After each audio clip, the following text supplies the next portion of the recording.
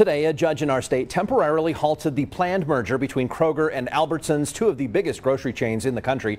Kroger owns King Soopers and City Market. Albertsons owns Safeway. The order lasts until September 30th. That's when the court will consider whether or not the merger should permanently go through. Eight attorneys general in the country have challenged the merger, including Colorado's Phil Weiser. Both companies have said that if the merger goes through, no grocery workers would lose their jobs. The Federal Trade Commission filed a lawsuit in February to stop the merger, saying that it would lead to higher grocery prices and lower wages for workers.